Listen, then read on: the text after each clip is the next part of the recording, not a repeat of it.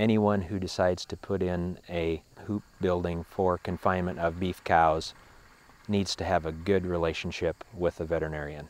The benefits are that they're looking at these cow herds every day, they're feeding them every day, and so they identify if there is a problem, they're identifying it quicker and getting on it to solve it. The downside of this type of system is if there is a problem and these animals are in close quarters, the problem can multiply very quickly. You want to have a good, well-balanced diet.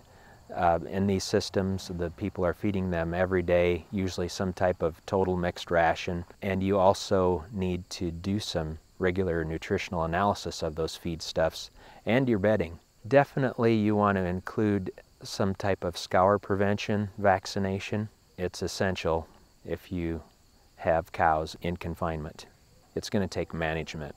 So it's going to take a plan before and during the whole process to make sure that you're going to be successful. This has been a really great day. I mean, a good crowd, lots of good questions, a lot of people here that I know or, or have met before that, uh, you know, raise beef cows traditionally and are very interested in, in what this system has to offer for them.